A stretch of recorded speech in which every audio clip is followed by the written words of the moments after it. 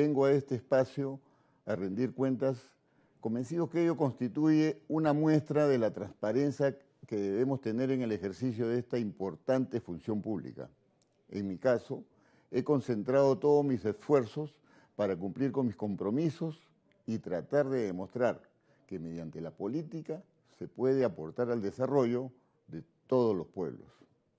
En las comisiones ordinarias en que he participado, teniendo como premisa impulsar y contribuir en el desarrollo de los pueblos de las nueve provincias de Lima,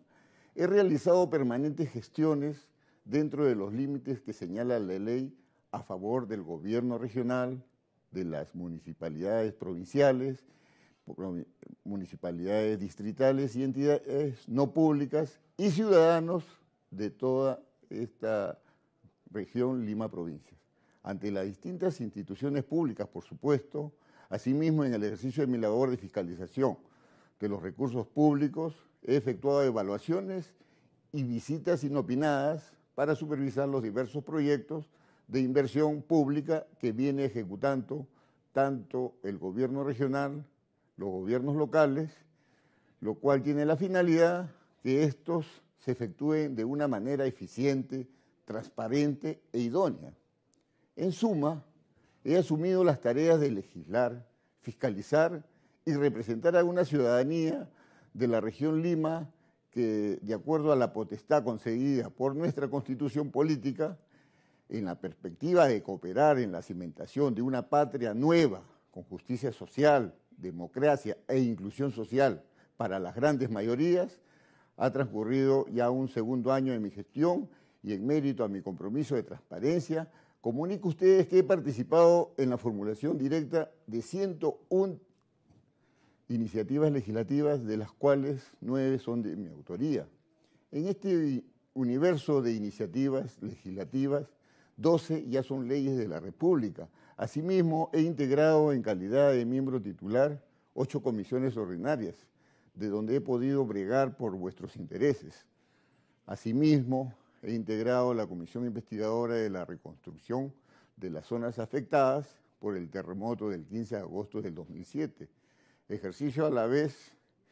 que con el cargo de coordinador en el grupo de trabajo de donaciones, espacio que tuvo que ver con la identificación de, irregularidades con los funcionarios públicos involucrados en los presuntos actos de corrupción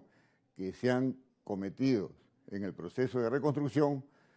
eh, se dio un informe. Actualmente integro en mi condición de miembro titular las comisiones de Defensa Nacional, de Fiscalización y de Energía. Puedo decir en las mismas participo como coordinador de los grupos de trabajo tanto de minería, seguridad y desarrollo fronterizo, que es en la Comisión de Defensa, y estamos en la Comisión de, Gobiernos Regionales en el tema de la Comisión de Fiscalización. Además, hemos organizado 20 eventos de distinta índole, los cuales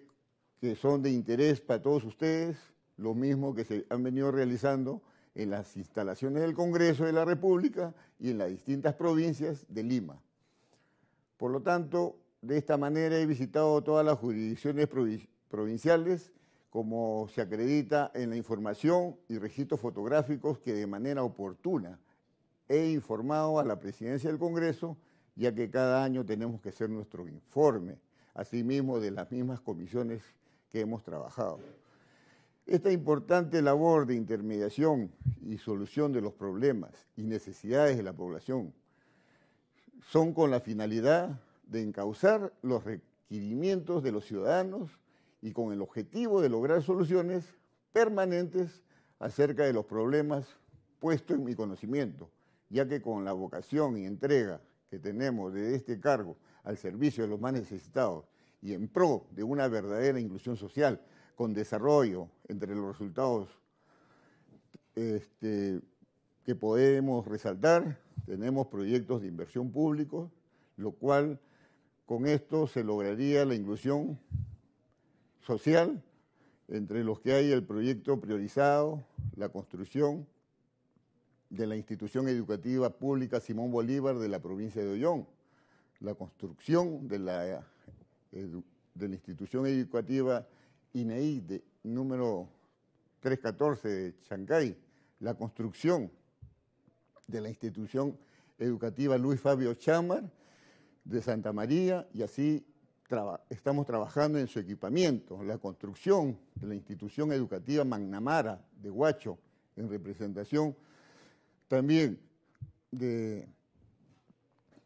este gobierno regional, estamos trabajando en los límites provinciales por la provincia de Cañete, logrando de esta manera que quede como límite la quebrada de Topará, el cual,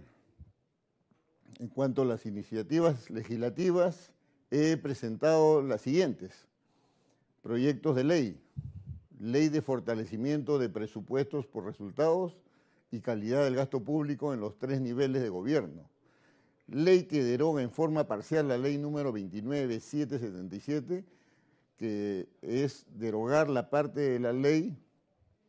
eh, que dispone la derivación de los sobrantes del río Cañete para el proyecto Concon Topará en Chincha Alta, reivindicando los intereses de la población de la provincia de Cañete frente a un despropósito de pretender desviar las aguas de su principal fuente de agua. Tenemos la ley de, que modifica el inciso 3 del artículo 699 del Código Civil acerca de las formalidades esenciales del testamento cerrado que permite articular políticas públicas de protección a favor del testador, otorgando transparencia y seguridad a las disposiciones testamentarias. La Ley de Promoción de Cadenas Productivas e Inversión para el Desarrollo de las Fronteras del Perú. Ley que incorpora la escenificación de la ceremonia ritual Bichama Raimi, en el artículo 2 de la ley 27425, ley que oficializa los festivales rituales de identidad nacional. Tenemos la ley que declara de necesidad pública y preferente interés nacional la construcción de la carretera interoceánica Centro-Oriente, Perú-Brasil, ley que declara de interés nacional y sanidad pública la descontaminación de los ríos que pertenecen a la vertiente hidrográfica del Pacífico y recorren la región Lima, provincias. Tenemos la ley que declara de interés nacional la creación y promoción de los parques tecnológicos rurales en el Perú. También la ley que declara de protección, conservación y puesta en valor del sitio arqueológico